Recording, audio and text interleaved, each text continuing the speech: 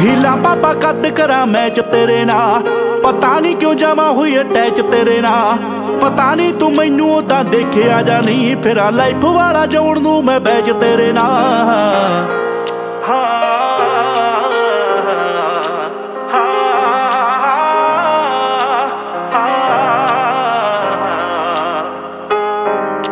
ਜ਼ਿੰਦਗੀ 'ਚ ਕੇਸ ਐਸੇ ਫਿਊ ਤੇਰੀ ਤੇ ਹਜ਼ਾਰ ਮੇਰੇ ਵਿਊ ਹੁੰਦੇ ਨੇ। ਸੁਪਨਿਆਂ ਵਿੱਚ ਜੋ ਗਰੀਬ ਹੁੰਦੇ ਨੇ ਰੀਅਲ ਲਾਈਫ ਵਿੱਚ ਦੂਰ ਇੰਨੇ ਕਿਉਂ ਹੁੰਦੇ ਨੇ?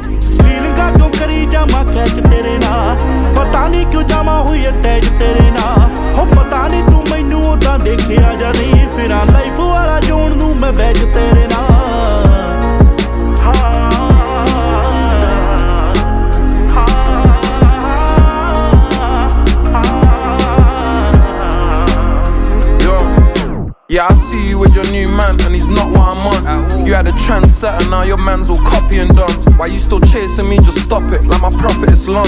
They say you never really know what you got till it's gone.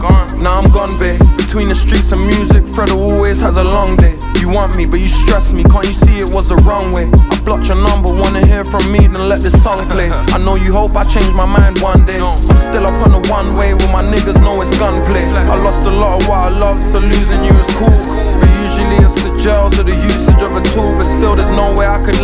girls come use me as a fool. And I'm still selling crap. They know, been doing it since school. And I know these hoes don't love me, it's usually the jewels. Yo, where was you when I was with them screws up in the wall? Man, I knew I'd be somebody, had to prove it to them all.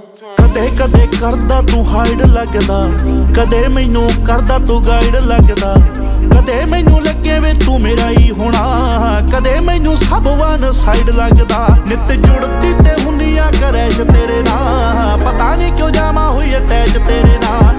ਪਤਾ ਨਹੀਂ ਤੂੰ ਮੈਨੂੰ ਉਦਾਂ ਦੇਖਿਆ ਜਾਂ ਨਹੀਂ। ਫਿਰਾਂ life ਵਾਲਾ ਜਾਣ ਨੂੰ ਮੈਂ ਬੈਚ ਤੇਰੇ ਨਾਲ।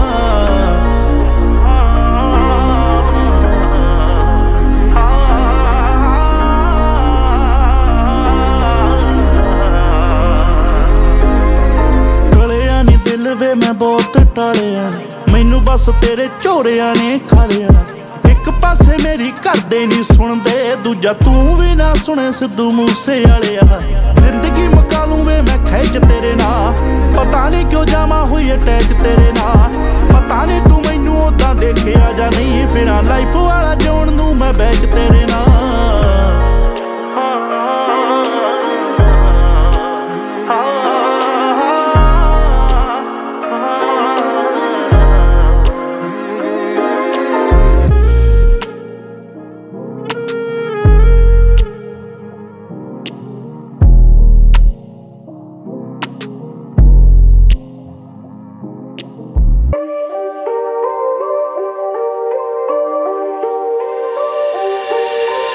ਡਾਰਲਿੰਗ ਮੇਰੇ ਲਈ ਰਿਸ਼ਤੇ ਜ਼ਿਆਦਾ ਜ਼ਰੂਰੀ ਨੇ। ਜਿਹੜਾ ਬੰਦਾ ਮੇਰੇ ਨਾਲ ਲੋਇਲ ਹੈ, ਜਿਹੜਾ ਬੰਦਾ ਮੈਨੂੰ ਪਿਆਰ ਕਰਦਾ ਹੈ ਨਾ, ਮੇਰੀ ਰਿਸਪੈਕਟ ਕਰਦਾ ਠੀਕ ਹੈ?